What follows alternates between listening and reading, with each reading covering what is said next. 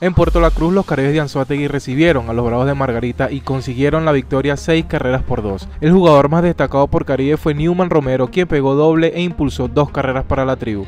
Joe Testa fue el pitcher ganador quien se anotó su segunda victoria de la campaña, mientras que por Margaritas Luis Chirino se llevó la derrota.